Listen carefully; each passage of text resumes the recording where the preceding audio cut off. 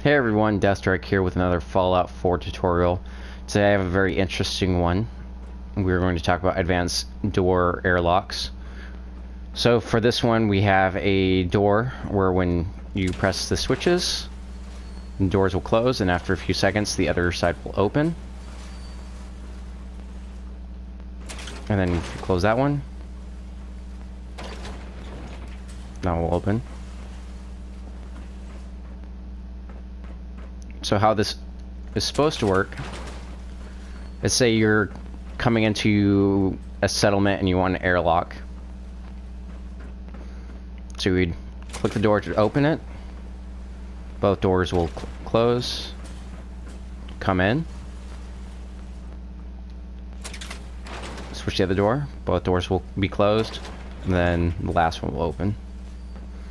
So what we have here is we have the power coming down into this little uh, power conduit and being powering both switches on each side.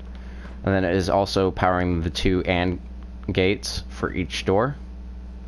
And then they are transferring power into an XNOR gate.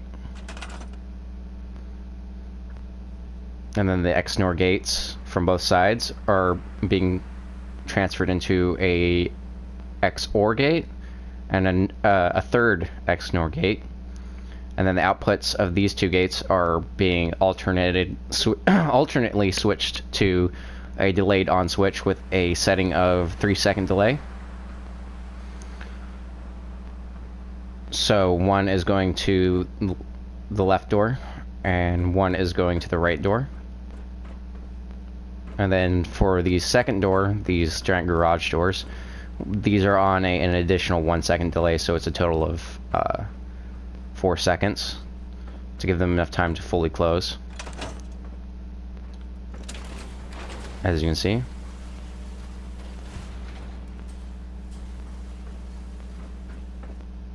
And that's my tutorial.